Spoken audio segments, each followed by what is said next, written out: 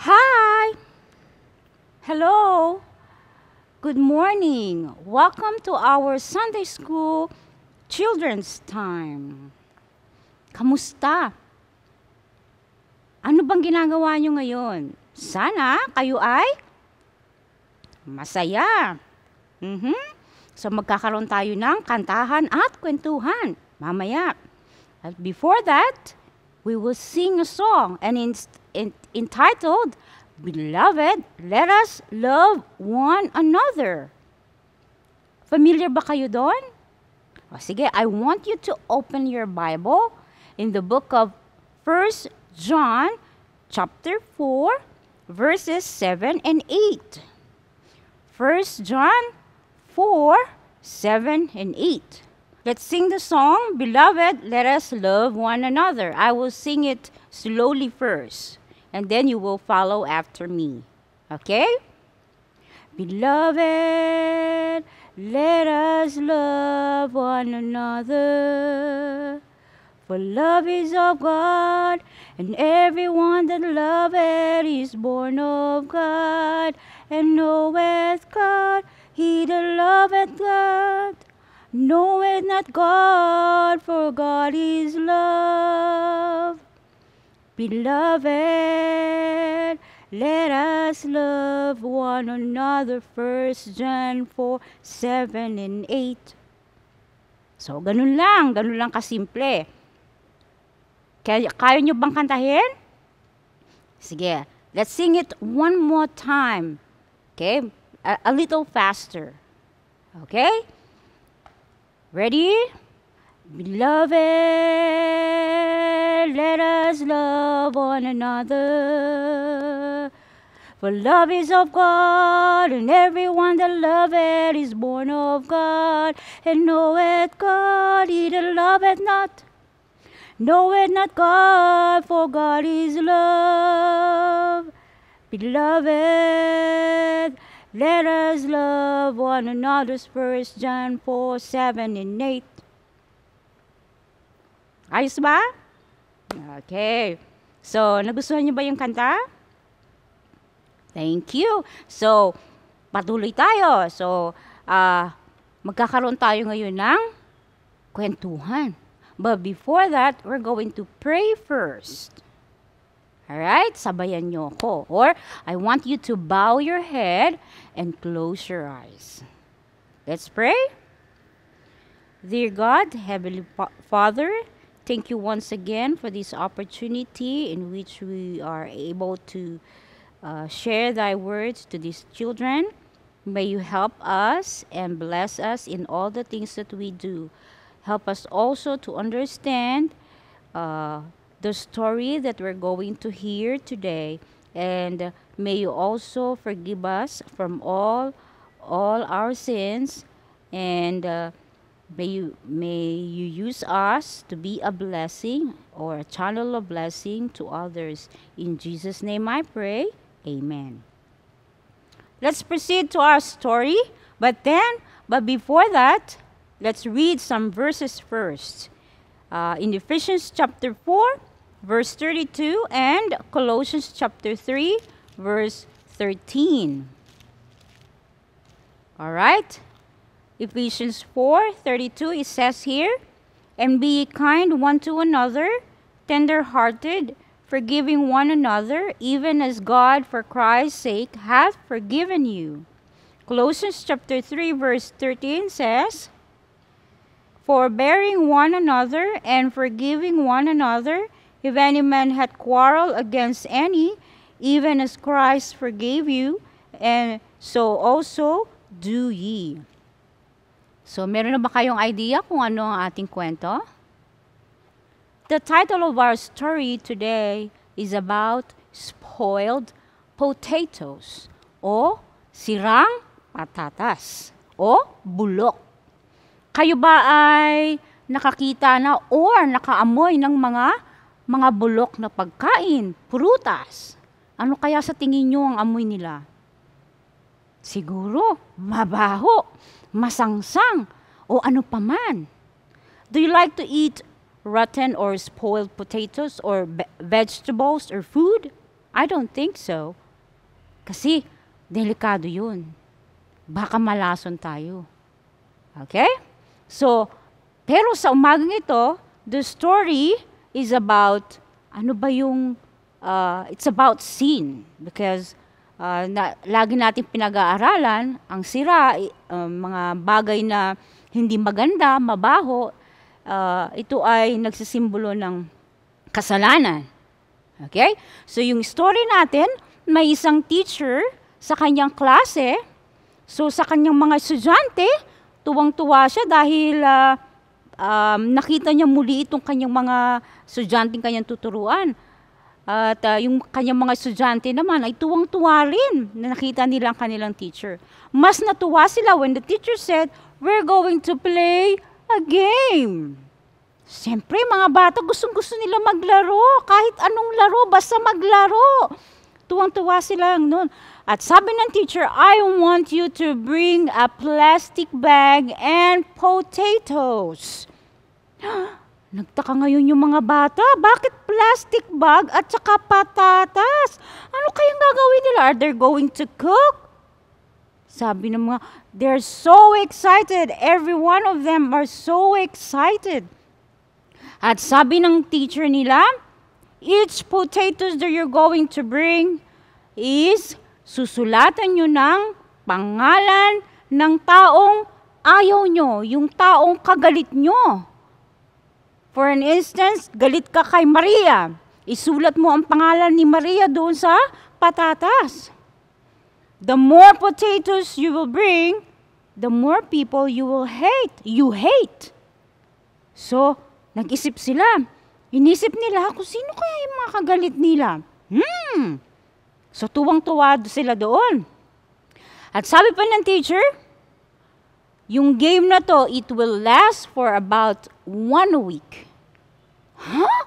Ang haba naman ng game natin. Sabi ng kanilang mga, ito, ito na ang teacher at saka yung kanyang mga students. Sabi niya, bakit kaya ang haba-haba ng aming mga laro, mang nang laro namin? Ano? And then the teacher says, meron pang karangdagan, hindi lang once, but sabi niya, and I want you to carry these potatoes with you wherever you go. Ha? Bibit-bitin namin itong patatas kahit saan kami magpunta.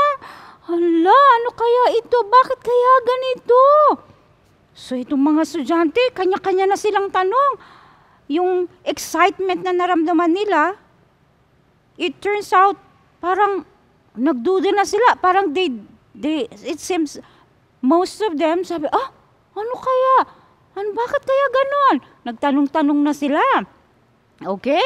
So, excited na sila. So, kinabukasan, the next day, so each of them brought potatoes. Some brought two, some brought three, four, five, six. Huh? Big sabihin, when you brought six potatoes means anim yung kagalit mo. Then if you only brought two potatoes, there are only two people that you hate. So obvious naman, di ba? So ang ginawa nila, sinulat na nila yung kanilang mga pangalan ng mga taong kagalit nila dun sa patatas. And then they put it inside the plastic bag. At sabi ng teacher, simula ngayon, that potatoes with you, you will carry them. Pupunta kayo sa labas, uuwi kayo ng bahay, pupunta kayo ng church, pupunta kayo ng mall, pupunta kayo kahit saan. You will bring them. Hindi mo dapat sila iiwan. Okay? Kasi yan ang part of our game. Ayan, sabi ng teacher, dala-dala niya yan. At meron itong batang ito. Dahil ang dami niyang kagalit, so ilang potatoes kaya yung dala-dala niya? Sabi ng teacher, ah, ay, nako, sabi niya, sabi ng batang ito, nagko-complain na siya. Ang dami-dami naman itong patatas na bitbit ko. Sana isa na lang yung binitbit ko kung alam ko lang ganito ang game namin para hindi ako nahirapan. Wala naman siya magawa. Na, nasabi niya na lahat at na, nasulat niya na lahat ng taong ayaw niya, ah, kagalit niya. So what happened? So ginawa nila lahat yun. uh, sabihin na natin yung uh, students inside the class were uh, 20 students or 15 or sabihin natin 30 students. So those 30, 30 students, uh, they brought their potato, they're bringing their potatoes wherever they go. So, uh, bit-bit nila yon, dala-dala nila, kahit saan saan, uh, punta sila ng, ng market, supermarket, dala nila yon. So kahit mabaho na, but they're starting to complain. Bakit kaya ang baho-baho? Bakit kaya ganito? Ayoko ng ganito. Nakakahiya sa mga tao. So, finally, tapos na yung game. One week is already over. Kasi sabi ni teacher, one week lang yung game nila. So, pagbalik nila ng school, hindi na nila bit-bit yung mga, yung mga patatas na mabaho. So, the teacher asked them, one by one, Okay? So ano, kamusta mga bata? Did you enjoy the game? So wala lang tumawa, wala lang na-excite kasi sure, uh, obviously walang nag hindi sila nag-enjoy kasi biro mo nabigatan sila, nabahuan pa. So sabi ng teacher, so how does it feel uh, carrying those potatoes with you? Sabi ng sabi nung isang bata. Ano kayang sabi ng bata? Mama, baho! Tingnan niyo tsura niya. Mabaho po kasi nabulok na yung patatas. Sabi naman ng isang bata, Mama ko po, ang bigat-bigat. Kasi ang dami po ng patatas na bit-bit ko. So I'm, I'm carrying it uh, wherever I go. Sabi nga ni mami, bakit ko bitbit? Ang baho-baho, nagagalit na sa akin.